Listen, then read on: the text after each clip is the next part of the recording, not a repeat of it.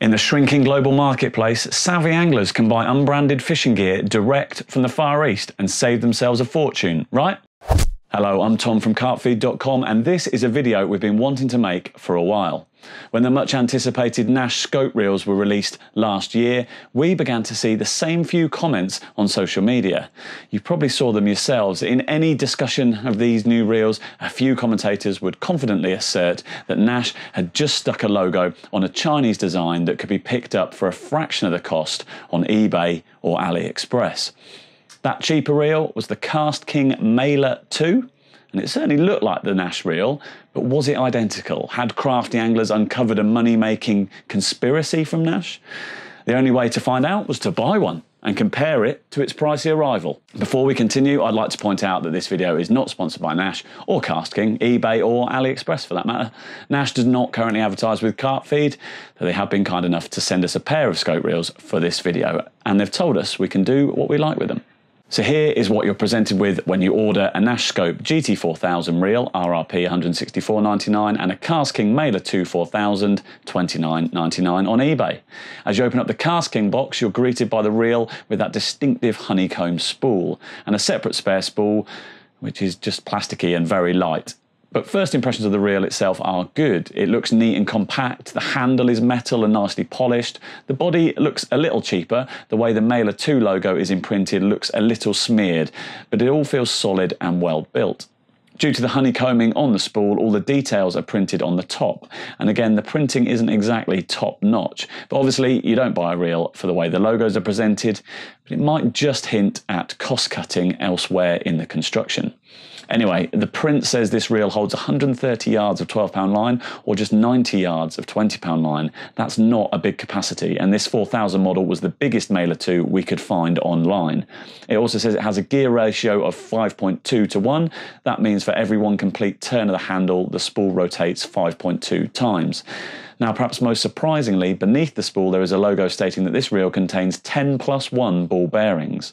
The plus 1 will be the one in the line roller, as it is on all reels, but that still leaves 10 to fit inside this pretty tiny frame. We will attempt to open it up and have a look inside later on. A lot of anglers are seduced by the ball bearing number. It stands to reason that more bearings should equal a smoother, more refined reel, but that's just not the case. It's all about the quality of the ball bearings. Some of the Shimano Baitrunners, which are still available now, only have a single ball bearing, so it's about quality, not quantity. Anyway, this little Mela 2 feels pretty decent in the hand, although it's a tad noisy. The handle is certainly very comfortable, with a foam knob slightly indented by the KastKing logo.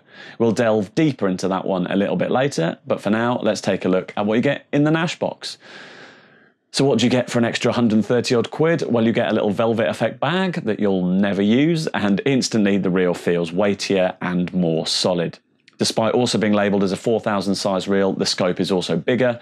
Reel sizes, much like clothes sizes, really are down to the manufacturer's interpretation of what is or isn't a 5000 reel or a small or an extra large. There are clearly design similarities between this and the KastKing, such as the three-legged base where the handle mounts to the body, the cutout window on the stem, the sweep of the handle, and of course that distinctive honeycomb spool.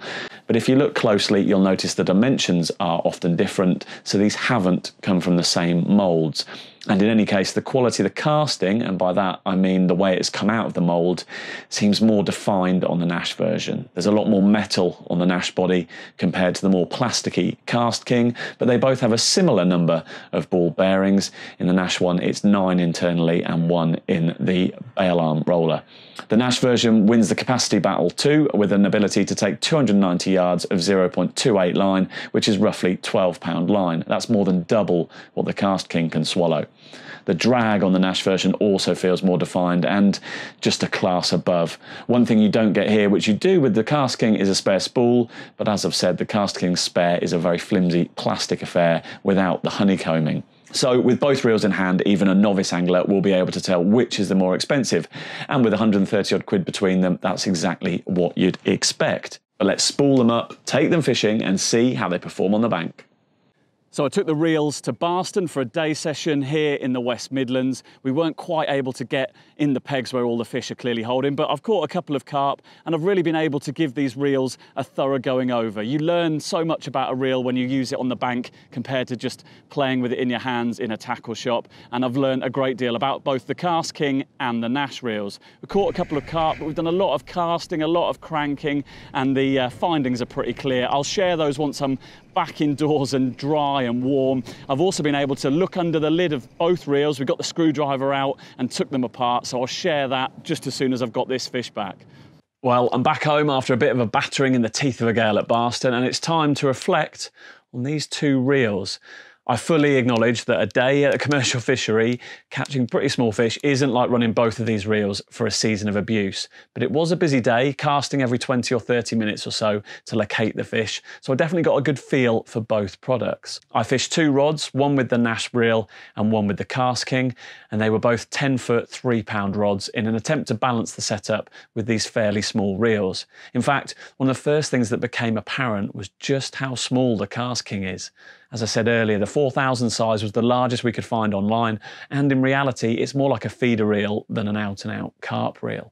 That slight undergunned feel is most keenly felt in the handle, which when I unboxed the KastKing looked well designed and comfortable. On the bank, however, it was just too small. Reeling in felt like I was pinching at it. I couldn't get a proper grip on the small foam knob at the end of the handle. The scope reel is also badged as a 4000 size and there is a larger 6000 version available too, but it has much more of a presence in a fishing situation and the handle was like a good football referee, you just didn't notice it throughout the day. I fished off a barrow at Barston and tried coming shore and going long with small PVA bags to find the fish. The longest spot I fished on the day was just under 84 yards into a headwind, which no isn't a massive cast at all and I don't claim to be a big caster, but it did give both reels a decent test. Both of them could reach that distance with a 10 inch rig and a mesh bag, but it was more of a struggle for the KastKing. The line lay on the KastKing was pretty poor to begin with, settling in into an exaggerated taper and got pretty ragged as the day wore on. As I said at the time of the unboxing, the stated line capacity is poor, but I actually managed to get 190 yards of 12 pound line onto it, which is 60 more yards than stated.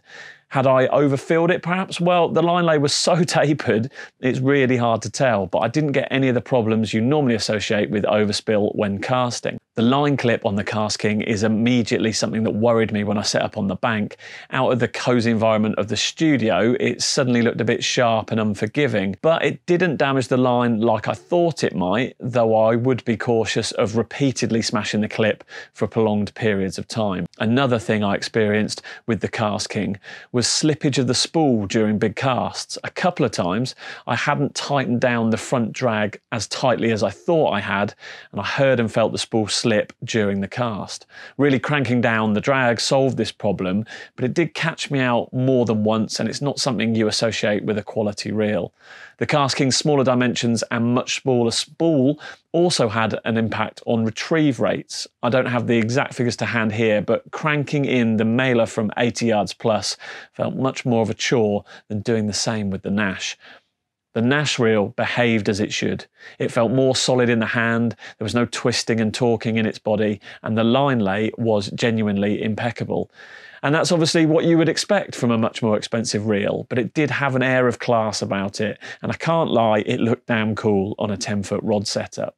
So, what about under the hood? How do these two compare when I prized them open? We'd seen a couple of comments about these two reels online saying, as soon as you open up, that's when you'll see the differences. And yep, to an extent, we did.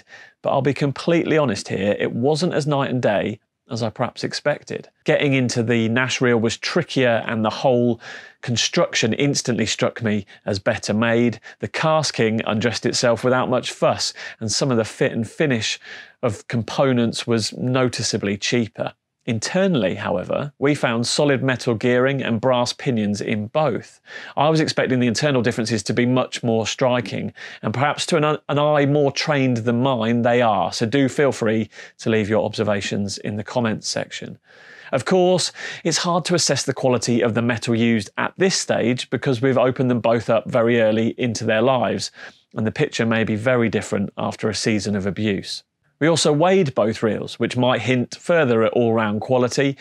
Lightness, I guess, is both a gift and a curse in fishing reels, so I'll leave you to draw your own conclusions based on weight alone. So look, the Nash reel clearly outshone the KastKing on the bank and it feels better built and more solid, but that doesn't necessarily make the cheaper option a terrible reel. As I said earlier, it's more of a feeder reel or even a lure reel than it is an out and out carp reel. It's been caught up in a battle with the Nash option simply because of the way it looks, rather than its intended use or performance. Judged on its own merits, it's not a terrible reel for the price, and this is under 30 quid, remember. I'd happily use this on my lure fishing setup or as a spare on a stalking rod. There are plenty of videos on YouTube where people buy actual knockoff versions of items like drones, games consoles, and cameras from websites like Wish. They invariably end up with laughably bad counterfeits. That is absolutely not the case here. The KastKing is a usable fishing reel at an affordable price. I'm completely confident you could use it for smaller species for many years. However, it just cannot hold a candle to the Nash Scope GT in the carp arena, and we can categorically put to bed any rumours that the Nash version is just a rebadged KastKing with an inflated price tag. The scope is a proper specialist tool, much more capable of being used for the biggest of carp. Anyone who's seen the footage of Alan Blair playing monsters in Thailand on scopes or tried their hand on the new Nash fishing simulators that have been doing the rounds at shows will be well aware of that.